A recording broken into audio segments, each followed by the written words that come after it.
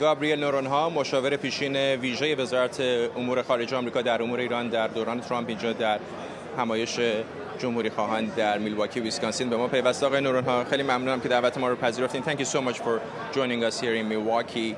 A lot of people are saying that Vance when it comes to foreign policy بحث سیاست خارجی مطرح میشه. آقای ونس شاید خیلی مداخله جو نباشه در مورد کشورهای مثل اوکراین. اما دیشب در اولین مصاحبهش با فاکس نیوز در مورد ایران گفت اگه بخوایم بزنیمشون باید محکم بزنیمشون.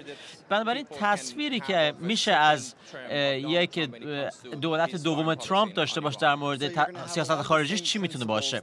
ببینید خیلی از اصولی که پرزیدنت ترامپ در دوره اولش داشت رو باز خواهیم داشت. یعنی نمی‌خواد که در باطلاق جنگ های خارجی گیر بیفته ولی نمی‌خواد که از جهان هم عقب بکشه و عقب بنشینه. یعنی نمی‌خواد جنگی رو شروع کنه. اما اگر که جمهوری اسلامی رژیم ایران جنگی رو بخوان شروع کنن اگر تلاش کنن که مقام های ما رو بکشن اگر بخوان که در حیطه هسته خیلی جلو برن اون وقت ما بهشون جواب بدیم همونطور که ونس گفت ما اونها رو با ضربای کوچیک نخواهیم زد بلکه با ضربات جدی خواهیم زد. همونطور که سلیمانی رو حذف کردیم. بنابراین چیزی که ایرانیا می‌تونن از انتصاب جدی ونس برداشت کنن اینه که سیاست فشار حداکثری دوباره برقرار خواهد شد چون او حامی اون هست و بعد در برابر اونها خیلی قاطع قد علم خواهد کرد. سیاست های دیگری هست مسائل دیگری مثل اوکراین و غیره هست اما وقتی که بحث خاورمیانه پیش میاد حزب جمهوری خواه پشت ترامپ خیلی خیلی یک صداست و حامی سیاست حد فشار حداکثری است.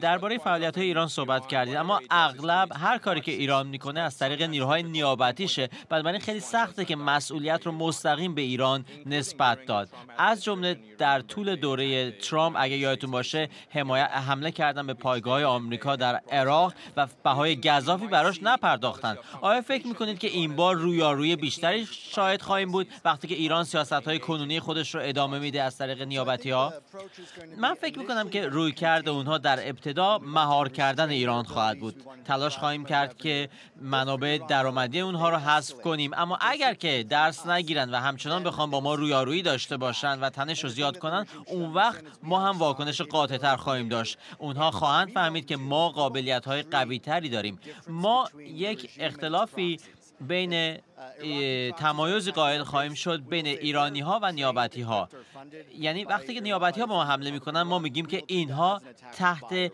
حمله و تعلیم ایران بودن بنابراین از نظر ما یک حمله از جانب ایران تلقی خواهد شد. بحث هسته طبیعتا یک موضوع خیلی داغی هست و ترامپ از برجام خارج شد. حالا یک خلایی هست و هیچ کسی نمی‌دونه که با ایران چه کار کنه وقتی که بحث برنامه هستهش مطرح میشه و به زودی برخی از مفاد برجام منقضی خواهند شد. شما فکر می‌کنید که ترامپ چه باید بکنه در ارتباط با برجام و برنامه هسته ایران؟ ببینید پرزیدنت ترامپ اگر که برنده بشه تنها هفت ماه فرصت خواهد داشت قبل از انقضای قطنامه مربوطه در شورای امنیت. این یک مسئله است که به اروپایی هم برمیگرده. چه کار می‌خوان بکنن؟ آیا می‌خوان یک توافق جدیدی با ایران امضا کنن یا مکانیزم ماشه رو فعال کنن؟ من فکر می‌کنم اگر واقع بین باشیم گزینه نظامی خیلی جدی روی میز خواهد بود و احتمال زیادی هست که ترامپ آماده باشه که این گزینه رو پیاده کنه. اما مشکل در اینجاست که ایالات متحده همزمان با رویارویی از جانب چین بر سر قضیه تایوان روبرو خواهد بود. بنابراین بخش عمدی از منابع نظامی آمریکا متمرکز روی اون قضیه خواهد بود. بنابراین آیا آمریکا به تنهایی با رو... ایران رویارویی خواهد داشت یا چه اتفاقی خواهد افتاد؟ ما البته شاهد حمایت قوی این دولت جدید ترامپ از اسرائیل خواهیم بود اما تا حدی شاید اسرائیل رو بگذارن که به تنهایی کارش انجام بده. اما در مورد یک توافق جدید به صورت بالقوه چون ترامپ میگه که من خیلی خوب معامله می‌کنم و در ایران هم یک رئیس جمهور به اصطلاح اصلاح طلب بر سر کار داریم.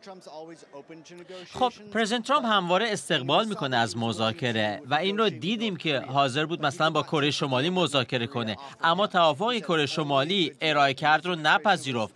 گفت تنها توافق خوب بود این بود که دوازده خواسته او رو برآورده کنن کره شمالی. و خب وقتی که